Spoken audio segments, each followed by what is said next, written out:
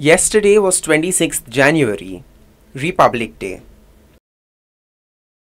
For the last 71 years, the languages such as Assamese, Gujarati, Tamil, Ladakhi, etc.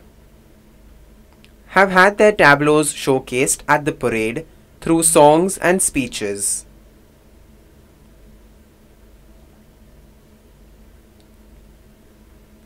On the 72nd Republic Day parade, there was a huge surprise as a beautiful Indian Sign Language tableau was showcased with the participants singing a song. ISLRTC under the MSJE have had the opportunity to be showcased by signing the theme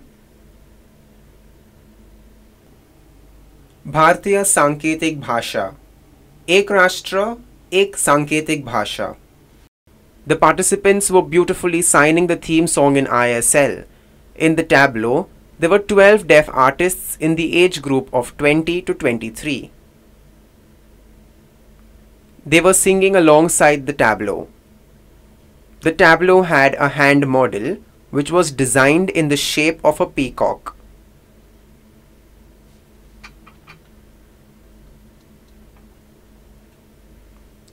In India, each state has their own language, such as Marathi, Gujarati, etc. However, despite the diversity, ISL is a beautiful language that is used across the country and eases communication.